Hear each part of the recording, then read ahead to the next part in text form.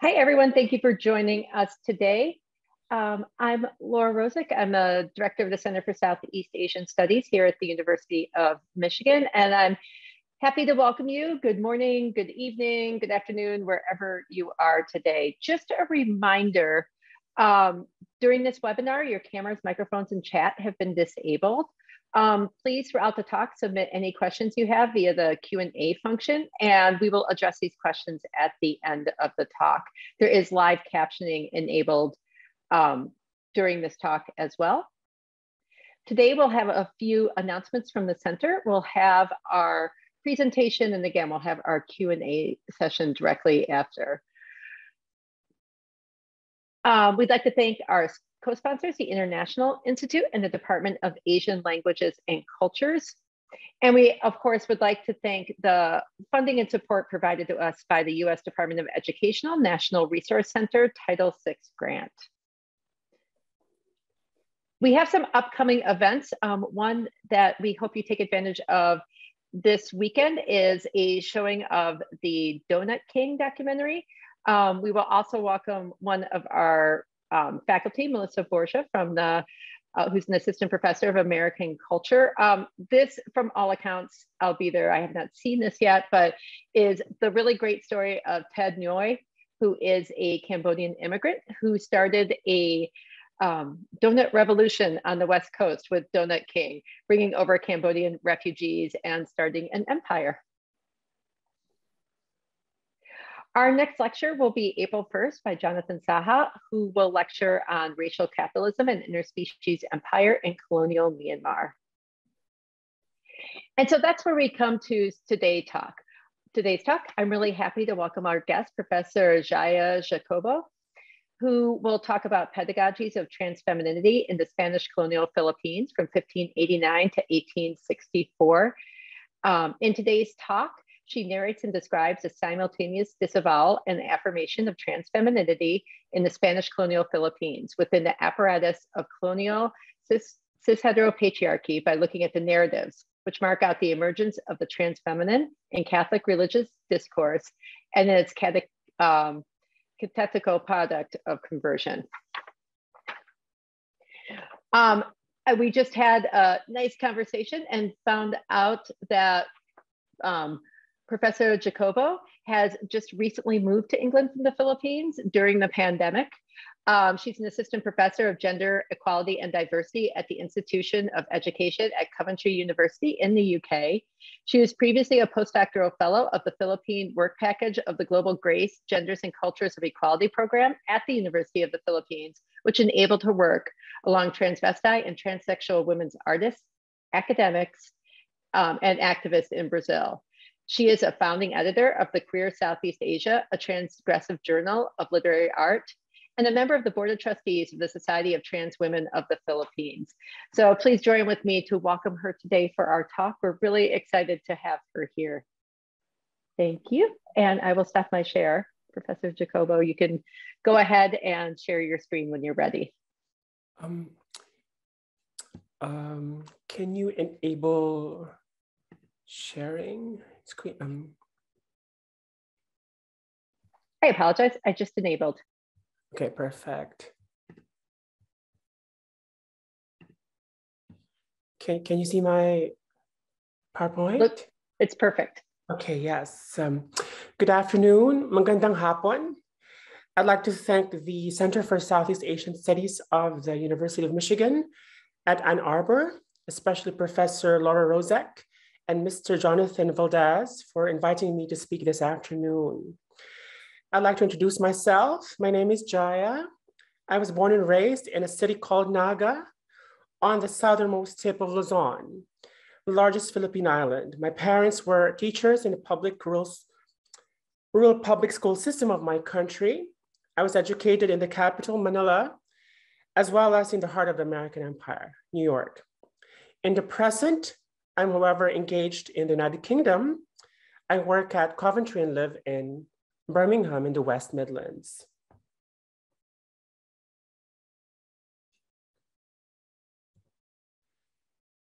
Okay, for this talk, I'd like to develop the concept of trans pedagogy. From a Philippine perspective, particularly through a critique of colonial gender during the Spanish colonial period in the Philippines, through texts from the early 17th century to the late 19th century. What I intend to intimate when I express the need to trans pedagogy is to name the cisgender nature of pedagogy itself, that it accepts the binary imposed by assigned sex, and that the educational apparatus itself proceeds from this privileging of cisgenerity. To trust in the trans possibilities of pedagogy is to open oneself up to an ethics of diversity and to imagine the gender diverse as humanly present among us in the world. What is also at stake in this discussion is an undoing and remaking of gender itself, which I hope to perform through the vernacular ethic of my idiom, the Philippine, and its languages. As I conceptualize its procedure for this presentation, I like to think of the trans-pedagogical as revealed by instances where the figure of the trans feminine appears in the Philippine scene. To me, these apparitions are instructive in designing the decolonial grammar that will enable us to unlearn and reteach gender for a time to come. Only when we have acknowledged the cisgender violence written all over these instances can we begin to draft a gender diverse programmatic, some sort of a syllabus on gender that internalizes the trans circumstance and allows it to be learned through queer feminist pathways. Let me begin by presenting um, these scenes from two chronicles on the conquest of the Philippine Islands written by Spanish friars in the 17th century. It is important to note, of course, that the Philippines was under Spanish colonial rule for more than three centuries, from 1521 until 1898. The first is quoted from Pedro Chirino's Relación de las Islas Filipinas, and the second is singled out from Francisco de Alcina's Historia de las Islas de Visayas, in translation by Blair and Robertson and Leeds, respectively. First, Chirino. This pagan priest, while offering his infamous sacrifices, was possessed by the devil. Second um, quote from Alcina. Although their priestesses were ordinarily women selected by the devil, he also chose some effeminate men called Asog.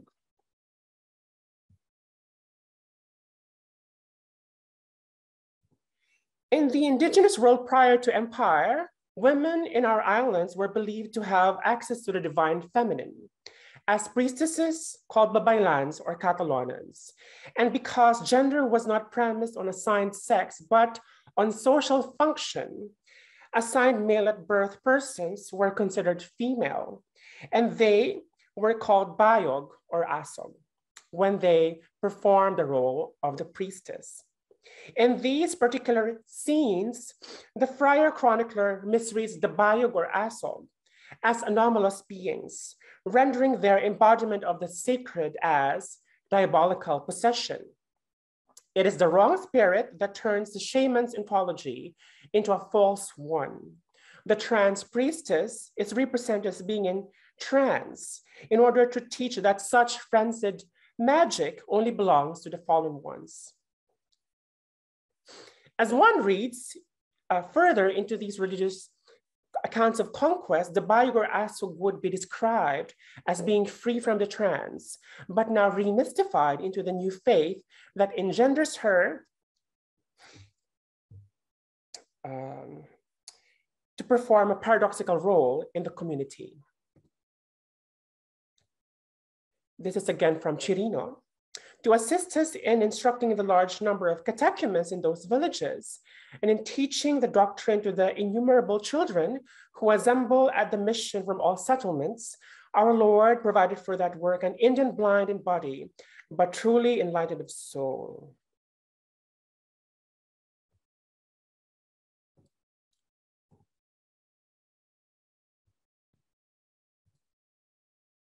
Sorry about that. There was an Indian mute there whom they called Asog. This one was so effeminate that in every way, he seemed more like a woman than a man. In the pastoral ministry of the Catholic religion, the former priestess is given the role of a pedagogue. Note how the narrative maintains her subordinate status while performing a role that will further subjugate her fellow indigenes. Also consider the signifiers of disability. The Bayog Asog is blind, mute, and her sexual anatomy as well as her desires are held in question. In the end, the semblance to power and authority only serves the colonial order. It inures her to further objection and ascertains the final obliteration of the divine trans feminine. For it is a sacerdote, a cisgender male, that ultimately inherits sacred sanction in the name of, this, of the Roman Church. The scriptural text that he will announce and the sacramental duties he will perform can only entrench what is asked of his gender. He shall relegate the priestesses either to witchcraft or sodomy, both domains of the devil, in his angelic vanquishing of all manner of darkness in the colony. The word pedagogue comes from the Greek pedagogos, a tutor who is also a slave who walks a child to school. In Greek antiquity, the pedagogos is to be distinguished from the pedonomos, the school magistrate, and the paidutes, an instructor who is a free person. Pedagogoi are trained in the pedagogium, an institute where young slaves are trained to serve in society. In this uncanny occupation that requires both authority and servitude, the pedagogue can only be a servant educator.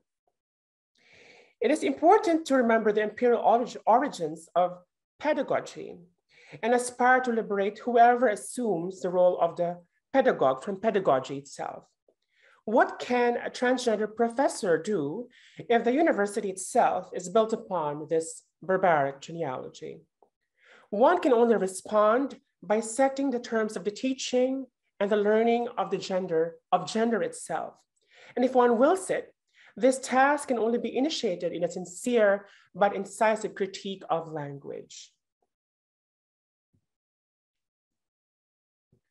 If I were to reconstruct Filipino vernacular pedagogy, the terms of teaching and learning are more or less reproduced between the acts of pagtuturo and pagkatuto, or pag-aaral as practiced by the guro, the teacher, and the mag-aral, the, the learner or the student.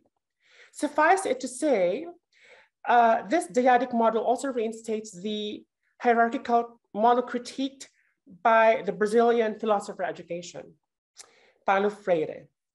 I propose to sabotage this hierarchy through the proposal of diversity that is inscribed upon the Filipino concept of gender, kasarian whose invitation is to diversify identity as much as it classifies persons in the process. In the ensuing part of my talk, I cite linguistic instances within the colonial lexicon where the trans feminine appears in language. I particularly choose the trans feminine as vernacular of gender diversity as it offers an openness and fluidity that may be based on womanhood or femaleness but also proposes further possibilities of non-binarity beyond what can be imagined from a transgender woman or trans female, but are confidently grounded on their figurations and embodiments.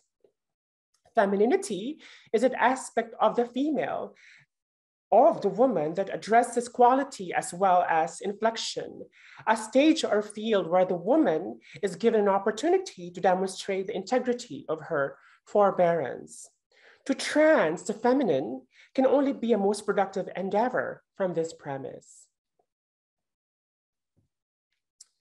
In the vocabulary de lengua Tagala, I'm sorry, Bicol, my mother tongue, one finds a diverse array of declensions and conjugations of the Bicol word for woman, babaye.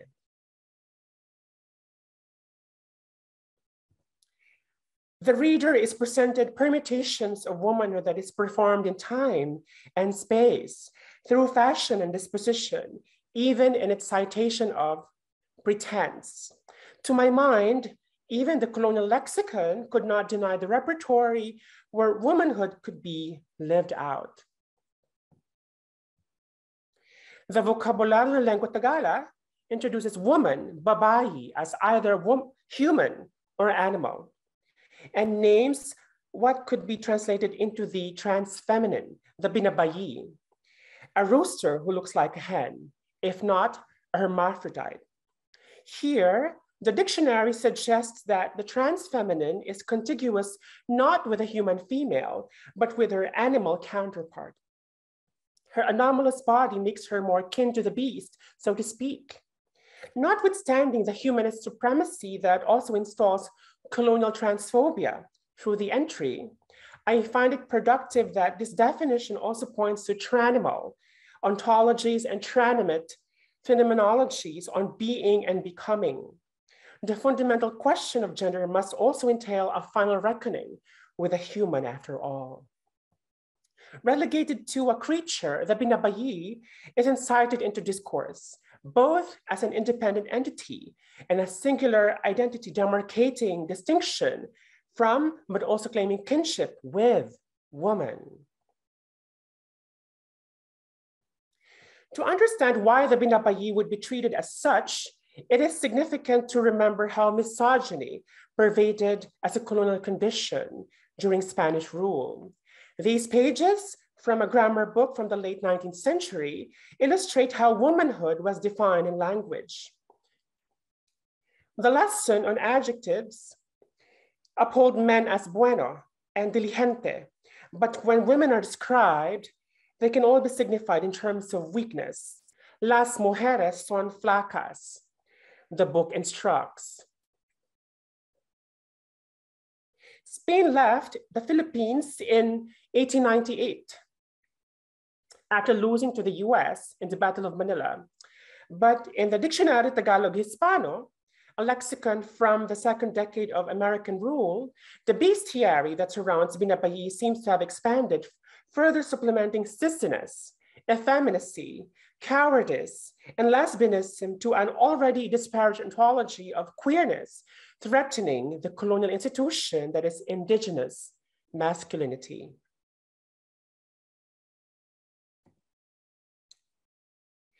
At this point, allow me to deepen my genealogical stipulation on the trans feminine in the Philippines by expanding the analysis through comparative Austronesian linguistics. Austronesian is one of the largest family of languages in the world, encompassing languages and dialects in Taiwan, insular Southeast Asia, Polynesia, Micronesia, Melanesia, and also Rapa Nui, Easter Island in Chile and Madagascar in Africa.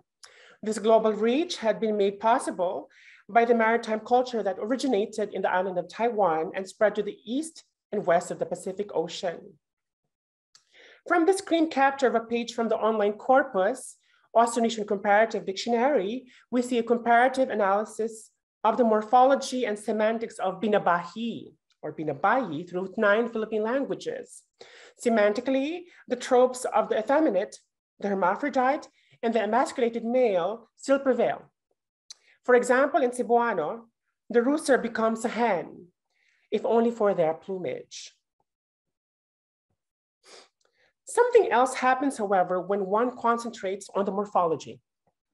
In English, the prefix trans indicates a crossing or a traversal. Hence, um, transgender, the word transgender, signifies a crossing into a gender that affirms a true self that is aligned with sex, um, uh, that is aligned with something's wrong here. The, the true self of the trans person. Sorry about that. In Binabahi, we see an exemplary operation of the traversal through an infix. The suffix does, does it work in the middle of the word where it is inserted. In Tagalog grammar, in performs its function in the past tense of the verb, signifying an act or process that had already happened indicating the completion of the event. For example, kinain means someone had eaten something, root word kain. As a noun, binabayi indicates a man prone to womanhood. That's what they say, but whose femininity is incomplete and hence invalid through cisness or effeminacy. Again, that's how the lexicons define the trans feminine, the binabayi. In a grammatical reading of, um, okay, of binabayi as a verb, however, the actant becomes um, into who they are through a process. With this framework in mind, binabayi can be translated as turned into a woman, binabae. I believe that this transreading of Tagalog grammar proves most productive for post-colonial and decolonial feminism, as this act of making posits posits a process of becoming not only for women of trans and cis experience, as well as lesbian, queer, and non-binary orientations. Binabae in Tagalog, in this particular reading, means naging babae. I have become a woman. She has become a woman. To become a woman in such terms, there was certain traversal of the feminine, either an embodiment of it or something else, like its transformation altogether, only introduces possibility along the lines of feminist solidarity. This infixity that is proposed by pagkabinabayi, transfemininity, can be grounded on the phenomenology of Filipino philosopher Albert Alejo by way of loob, as well as on the theory of performance proposed by Filipino art historian Patrick Flores through his concept of palabas what we may witness from this dialectic between dwelling in an interior, loob, and the event that is venturing out into the outside, labas, is an emergence of a self always already embedded in an enclosure, but equally invested in an expanse out there. I interpret such a flux as a procedure of engenderment that is demonstrated by the kind of nascency and arrival that only the trans feminine in the name of the Binabayi can only perform. To extend the gesture of comparison, Binabayi is related to Pacific trans femininities indigenous to Samoa, Tonga, Aotearoa, Tuvalu, and the Gilbert Islands. All these cognates of the Binabayi in the language spoken in these places translate into the into in the manner of a woman, such as the Samoan Fa'afafine, that said, unlike binabayi, the manner of the woman is signified through prefixes and operates in a manner akin to the English prefix trans, except for Tahitian and Hawaiian. Mahu, a word unto itself without any suffix, translates into in the middle. I would like to temper my enthusiasm, however, on hoping too much on trans feminine futurity by sharing two textual instances where the Binabayi encounters the predicament of erasure, at the same time that the promise of her resistance remains, however bleakly. The Tagalog epistolary Urbana at Feliza by Modesto de Castro, translated into several other Philippine languages, and is considered a pioneer in the history of the Philippine novel for its evocation of the city and the country through an exchange of letters between sisters, Urbana, who is in a beaterio in the capital Manila, and Felisa, the younger sibling in Laguna province. Reading within the tradition of the European novel of manners, critics have also pointed out that the etiquette perspicaciously described in the text is symptomatic of colonial governmentality, particularly on, on women the chapters pertain uh, to um, manners on the table, how to dress, how to walk, how to become a proper woman, how to become a, um, a civilized person in the colony. I'd like to read further, however, and imagine the trans feminine constructed by this dialogue between two cisgender indigenous females, especially when Urbana at Feliza speak of their younger sibling, Honesto. Aking naisulat sa iyo ang madlang kahatolang ukol sa paglilingkod sa Diyos. Ngayon, isusunod ko ang nauungol sa sarili nating katawan, the body. Sabihin mo kay Honesto na bago masok sa eskwela, maghihilamos muna. Suklayin, aayusin ang buhok, at ang barot sa lawal na gagamitin ay malinis, ngunit ang kalinisay huwag iukol sa pagpapalalo. Tell Honesto that before they go to school, they must wash their face, comb their hair, and that their shirt and trousers must be clean. But this cleanliness must not be excessive. This is um, Urbana to Feliza. And then Feliza to Urbana. Pagkaumagay, mananaog si Onesto sa halamanan, pipitas ng sangang may mga bulaklak, pinagsasalit-salit, iba't ibang kulay, pinag-aayos, ginagawang ramilyete. Inilalagay sa harap ng larawan ni Ginoong Santa Maria. Isang asusena ang inuukol para sa iyo, isang lirio naman ang sa akin. At paghahain sa arena ng mga virhenes ay linalangkapan ng tatlong aba Ginoong Maria. In the morning, Honesto descends to the garden, plucks flowers of various colors, which they turn into a bouquet to be offered to the Virgin Mary at the altar. They would also choose one special lily for you, Urbana, another one for me. And upon offering to the Virgin, they would add to the bouquet three Hail Marys. In this conspiracy between virgins of the city and the country, the child is turned into a specimen that would endanger the future of patriarchy in the outpost of empire. If the boy does not become a man, or Urbana and Felisa refuse Honesto be, to become a man.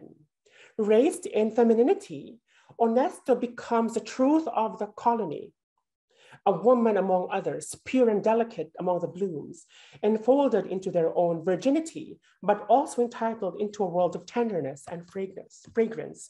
Sissy or effeminate, the figure of Honesto is where the vanquished non-binary trans femmes of the divine past stage their emergence in the late imperial culture of the colony and ensure a trans feminine future for women like myself in the present. Nonetheless, as the Binabayi becomes woman among other Babayi, women, she also inherits all manner of suffering in the hands of indigenous men who lure her into believing love can ever be true for her kind of woman. Kagagaling lamang dito ni Bebe, ang patuloy ng lalaki ng samantalang sumasandok ng kanin at isa pang pinggang ulam si Aling Tolang. Si Benebae po ba, tata?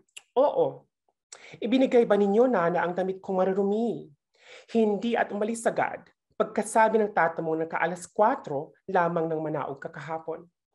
At naggalit naman siguro sa akin ang buwiset ang naibulong naman sa kanyang sarili.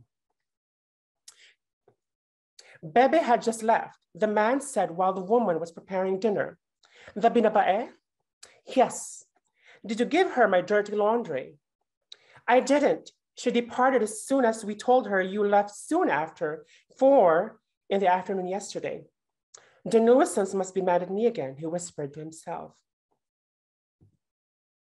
Yamot na yamot na at ikinahihiya pa ni Enrique ang pakikilaguya sa binabaing iyon, na animoy kung sinong talipandas at mapagmahal na kabiyak ng kanyang dibdib. Ngunit hindi niya magawa ang magalit o makipaglayo sapagkat malaking totoo ang kanyang pakinabang. Ano't hindi niya ng gayong pakikipagkaibigan, ay ibig niya ang lagi. Enrique was ashamed of his relation with the binabae, who acts as if she were not just a woman, but also his wife. But he couldn't be furious and just leave. He benefited from her. How can he not endure their forlorn partnership when he wanted to appear like a fashionable man of the times? In these fa in, fashionable, sorry, in these passages from the 1910 novel by Roman Reyes, Pusong Walang Pag-ibig, A Heart Without Love, we see Enrique, who has already abandoned his wife and children in the province, living the life of a bachelor in Manila. often read as a critique of American modernity in a colony that had failed to liberate itself from a previous colonizer and is now serving a new master. The novel portrays how the aspiration to be modern destroys indigenous masculinity. In describing the Filipino male subject's toxic failure, however, the novel can only reproduce colonial misogyny, failing to offer any form of reprieve to the women who suffer from the man. In the end, they fail even more. If the man of their dreams is defeated by modernity itself, how can they even begin to dream for themselves, especially without this male figure? What I would like to point out here, however, is the male dependency on trans labor. We would have wanted to read more about how the Binabayi employ that productivity to her advantage. But then again, this is another novel in my mind from contemporary reverie. During the past 30 minutes or so, I have labored to demonstrate the pedagogical value of trans femininity as a critique of colonial gender through a genealogy of the Binabayi as a categorical facticity in the languages of the Philippines. In considering the Binabayi as a vernacular of trans feminine, I trust that I have shown a procedure of translating transness, as well as transforming womanhood into terms of femininity from a global South methodology. I'd like to conclude my talk by sharing a couple of images from a pictorial that was commissioned by Wang Bing Hao, non-binary curator and artist friend from Singapore, when they asked me to write for the Modern Museum of Art in New York City last year. These portraits are offered to us by Malvin, Mark, and Jazar, Binabayis of the House of Bacolor, whose mother, Filipinx non-binary artist Carlo Carlo, yes, has generously assembled for the world to see the irreverent fulsomeness of contemporary trans feminine beauty.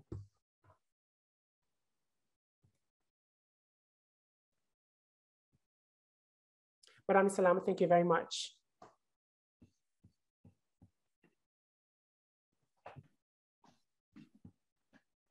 Thank you so much for that talk. That was um, I, I, won't, I think I might go back and rewatch that. That was really great. Um, it really thought provoking. Does anyone have any questions? Our question and answer is not, we don't have anybody in there yet, but please go ahead and um, ask some questions.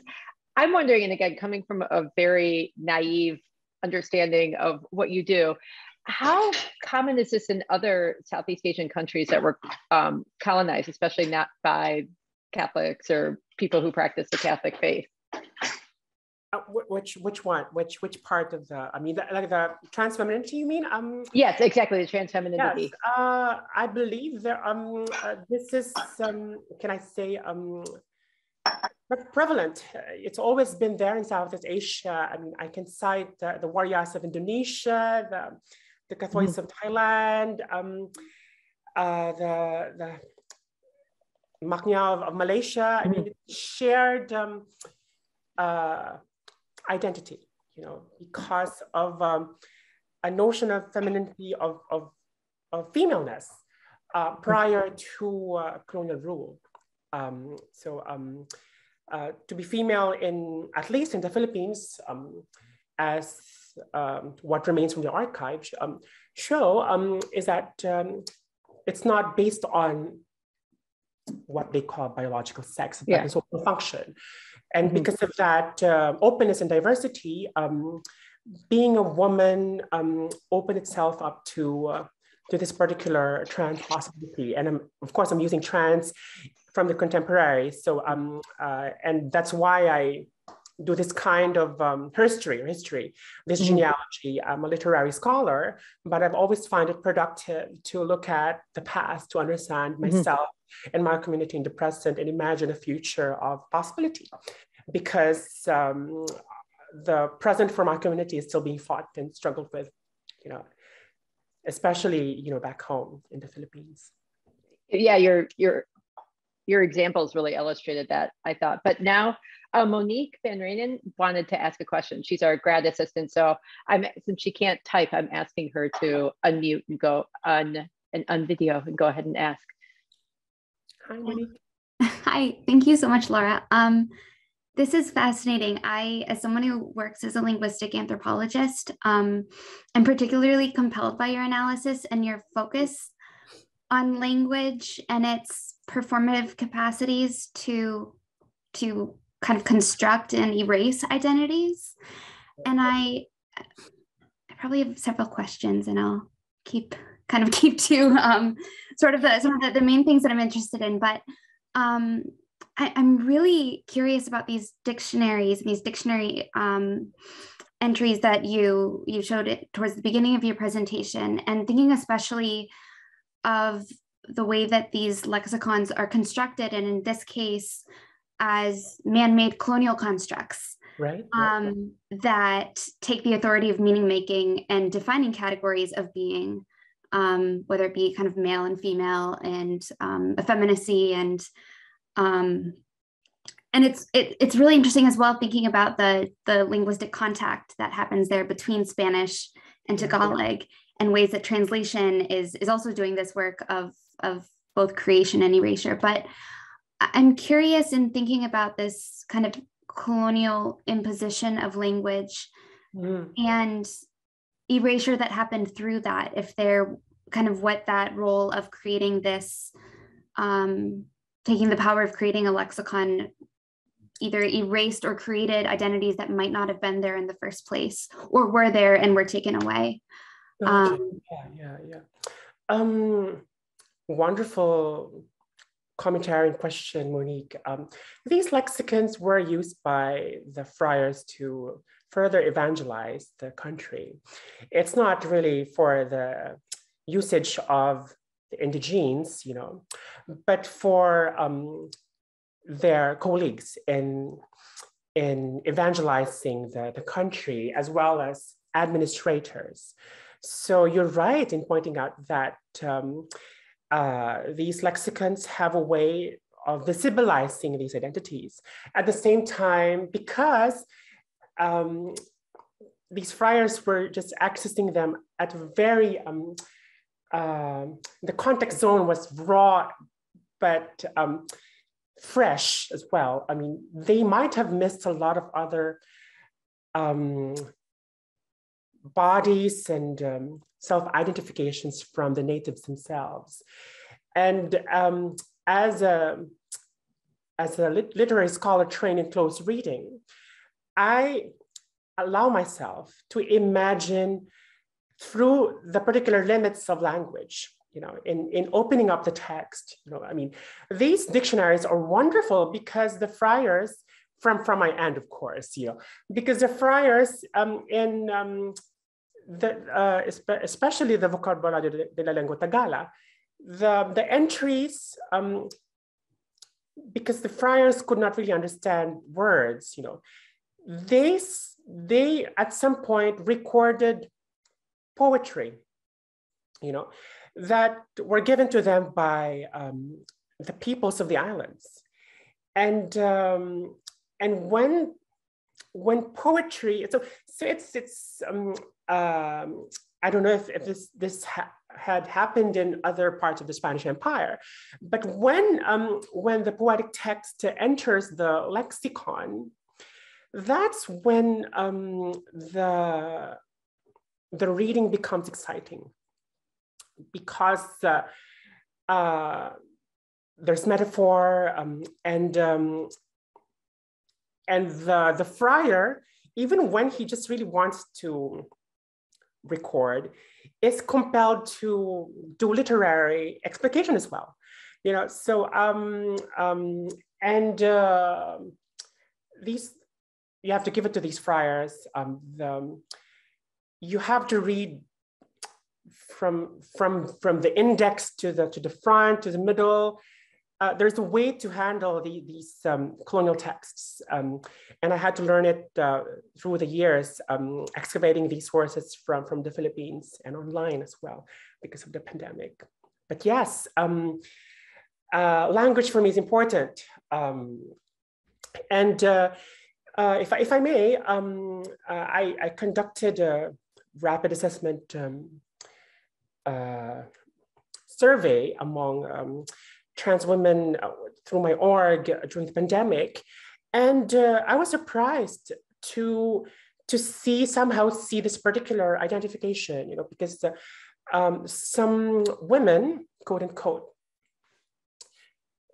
could not identify with trans, but would identify with not just binabayi, but other vernacular terms to refer to this kind of womanhood. You know, like um, for, for them, uh, trans women were myself and other women in the city who had access to a, you know, privilege and capital. So um, that was instructive for me as well. These um, uh, residues, so to speak, of the colonial past, of, of the antique past, you know, in the contemporary present. Through that, through that, um, could you call that field work?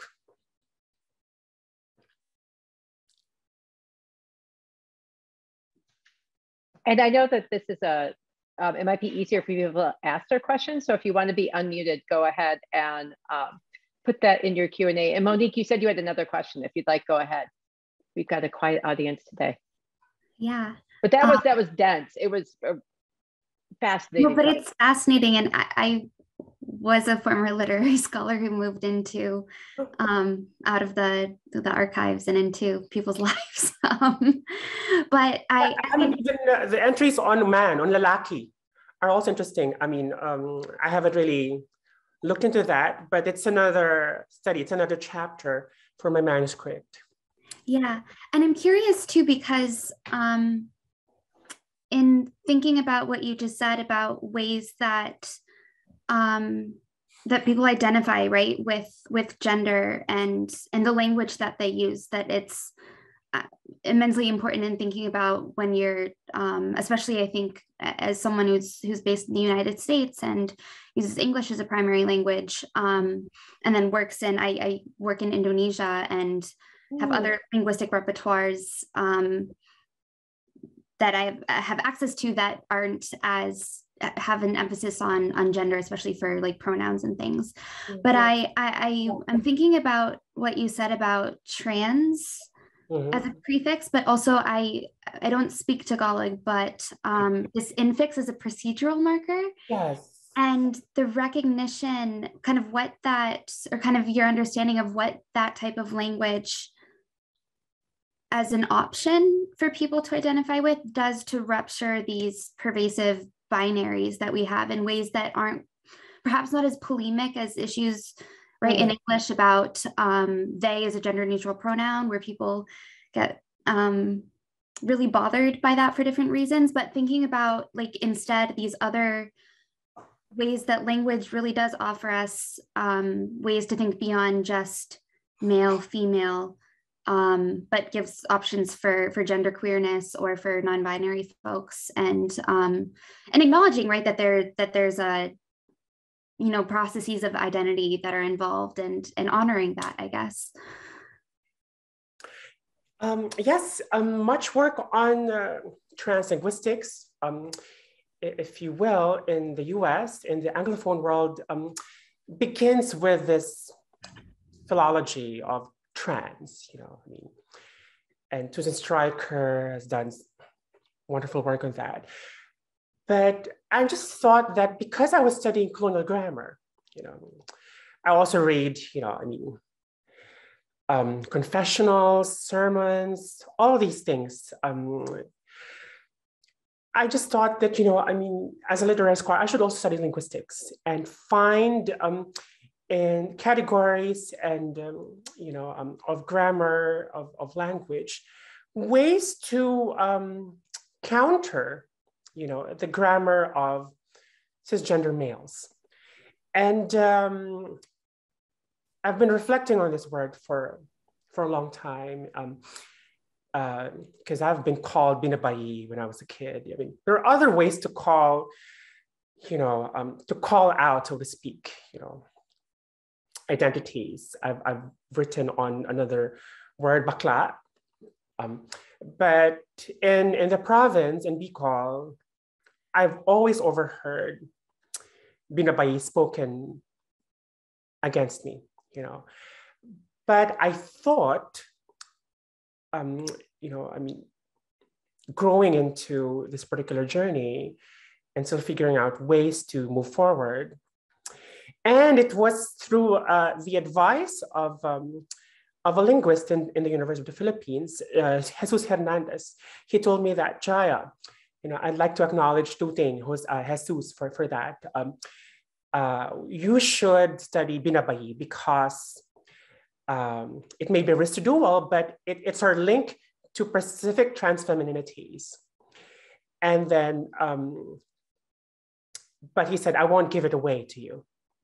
So I took it as a challenge. And I was wondering for all these years, why Tooting, that's his nickname, told me I won't give it away.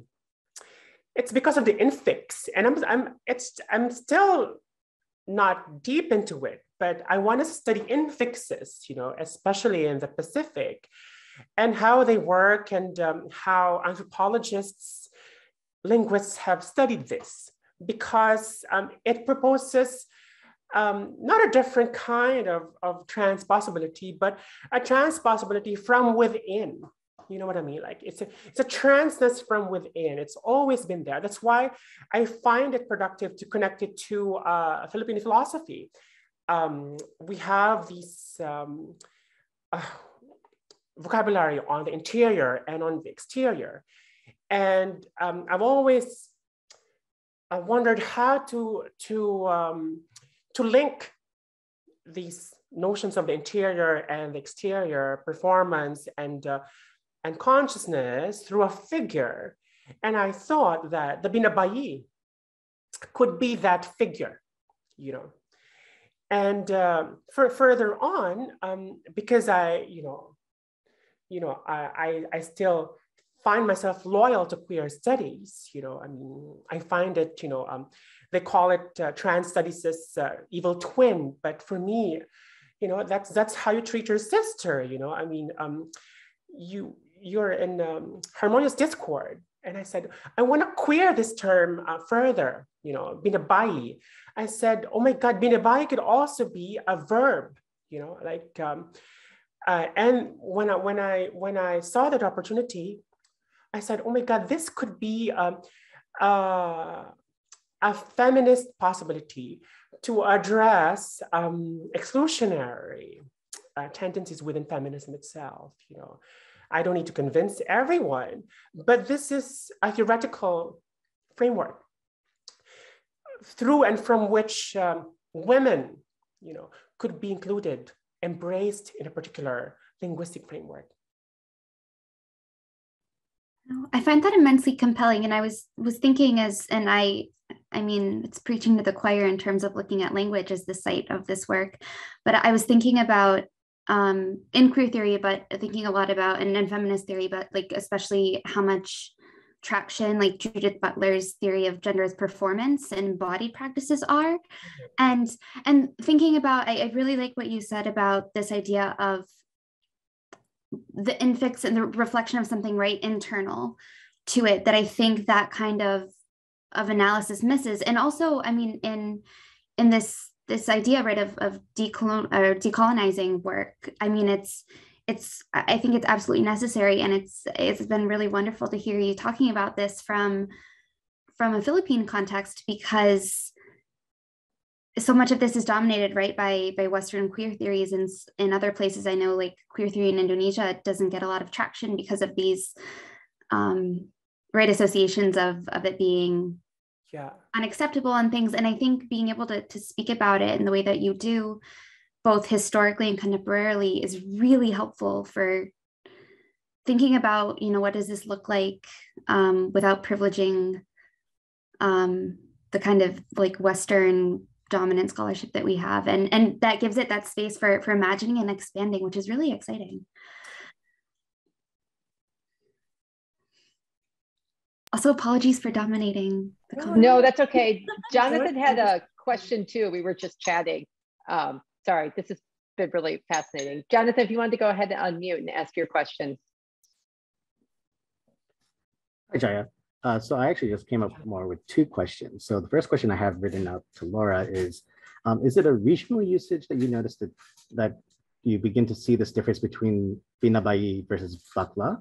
Because I, I know, at least for me growing up, the association of bakla has always been towards behavior, or at least like from what people would say, um, Filipino men exhibiting right. effeminate behavior, whereas that would not necessarily be used towards uh, women, uh, you know, um, them like showing uh, more masculine behavior. So I'm wondering, uh, what does the term bakla preclude okay. uh, more in terms of contemporary motions of um, expressions of identity that Binabayi makes available for possibility? And then I think my second question is, with the motion to, to sort of bring back uh, Phil, uh, Philippine writing systems. Uh, mm. Is have you seen any sort of right like motions that where Philippine writing scripts have demonstrated more about gender than just uh, Roman Romanized script? Wow, um, wonderful questions, Jonathan. Um, first, uh, I um, bakla is the, if I may, um, would be the Filipino um, cognate to queer. It embraces, it embraces, you know, not a lot of trans women identify as bakla, but it embraces gay men, um, trans women, trans femmes, also um, um, women allies. You know, I mean, there, there are cisgender femmes who gladly embrace being called babaeng bakla. I don't know how to translate that. Babae is woman, bakla is, is it's, the, it's the more disseminated word to disparage maleness, you know but it's been reclaimed by um, scholars as well and the community activists as um, decolonizing form of um, queer, trans, gay gender, you know, and uh, and that's the beauty of it, you know. Bakla existed alongside Binabayi. Uh, they they conversed uh, with each other, although um, interestingly, um, Bakla um, unlike the binabayi, uh, the word binabayi has always been associated with someone, a person. Bakla, um, uh, philologically, linguistically, was only associated with uh, quote unquote effeminates later on because it's or um, originally bakla meant um, wonder wonder and fear of the unknown, of the divine, of nature. So uh, if I could translate it, Bakla uh, described a feeling of, of um, a human feeling towards the sublime, you know. But uh, the, again, the, the lexicons twisted it in such a way that Bakla became at some point uh, associated with um, uh, a weakening form of masculinity. You know, um, so um, uh, so in, in, in, that sense, um, um, Sony Coráñez of um, Michigan, he, he, they graduated from Michigan now in somewhere in the five colleges, associates Bakla with debility, with disability, you know, with, with crip theory.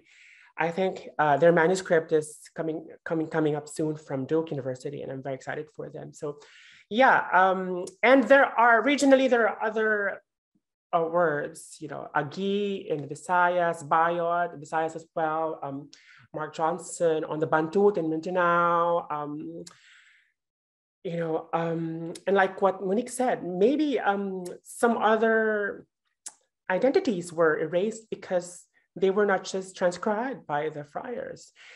And then, yeah, I mean, anything for a trans archaeology of knowledge, I welcome it, you know. Um, and for the, the question on, on writing systems, um, I never got to learn um, Baybayin or Alibata, but um, there's uh, i think if um but there are no there are no extant texts. There are, there are, I guess, the Laguna copperplate, but but I have yet to um, explore that. Um, maybe if I if I read more deeply, I could um, I could queer it. But um, did were you asking about activism, and advocacy, uh, uh, be, beyond um, uh, the exoticism of Baybayin? Um, I'm not sure. I mean, before I left, before the pandemic, I think uh, the government was proposing, oh God, like uh, two um, in, in, the, in the stations, you know, the train stations to, to put Baybayin as well, which which is like pedagogically impossible because no, it's not it's not taught, or I don't know how that will be possible, how that will be employed, and why we should return to that particular nostalgia. I mean, I have yet to be convinced on the uses of that particular past.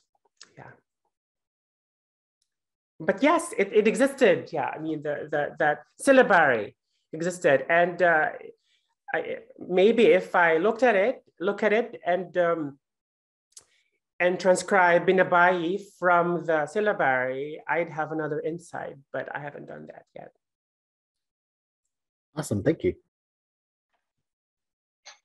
Well, it's just about one, so we want to make sure that we thank um, Professor Jacobo and for this really compelling talk. And again, if you would like a recording, this should be up on our um, page pretty quickly or email cseas at umich.edu. So thank you so much for this talk today. Thank you so and we will see you next time.